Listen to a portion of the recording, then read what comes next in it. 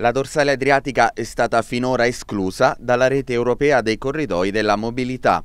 A dichiararlo ieri dal vertice barese dei governatori è il presidente Marsilio, che però è fiducioso in una svolta che definisce epocale. Il processo di revisione della rete transeuropea dei trasporti era stato avviato dalla Commissione europea nel 2019 e oggi l'Unione sta definendo, con tutti i vari paesi, una nuova geografia della mobilità. Se la proposta dei governatori di Marche, Abruzzo, Molise e Puglia dovesse essere accolta, dovrebbero giungere finanziamenti anche per la dorsale centro-meridionale, tramite cui saranno realizzati porti, interporti e aeroporti e saranno potenziate autostrade e ferrovie, sia lungo l'Adriatico Adriatico sia verso il Tirreno con la tanto agognata Roma-Pescara. Eh, la richiesta che le quattro regioni, Marche, Abruzzo, Molise e Puglia hanno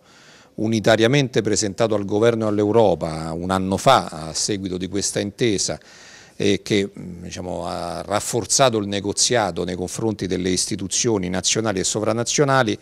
è oggi a un punto di svolta e noi attendiamo a settimane, quando sarà chiuso questo negoziato, una risposta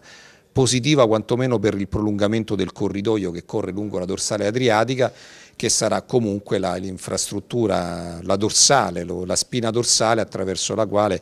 anche poi innestare i collegamenti trasversali verso il Tirreno e completare quindi quella rete di mobilità che darà maggiore competitività alle nostre aziende e ai nostri cittadini. L'incontro di ieri a Bari tra i quattro governatori è stato il primo vertice dalla firma del protocollo a Pescara del 24 ottobre 2020. Alla riunione ha partecipato anche il direttore generale della regione Abruzzo ed ex amministratore delegato di Trenitalia, Barbara Morgante. Andare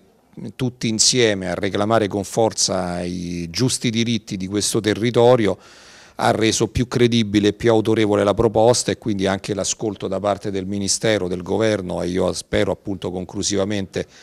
dell'Europa stessa sarà all'altezza delle aspettative e dei bisogni. Sicuramente meglio del passato.